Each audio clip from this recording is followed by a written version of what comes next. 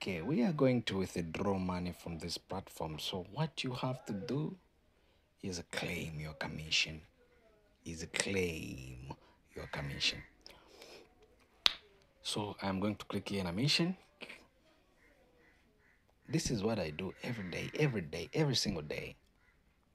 So I am going to click go to finish. I have 1.7 USD. T. So as you can see, my mission is already completed. I will go here and click in a withdraw. I will go to home and click in a withdraw. Then I will light my quota. 1.76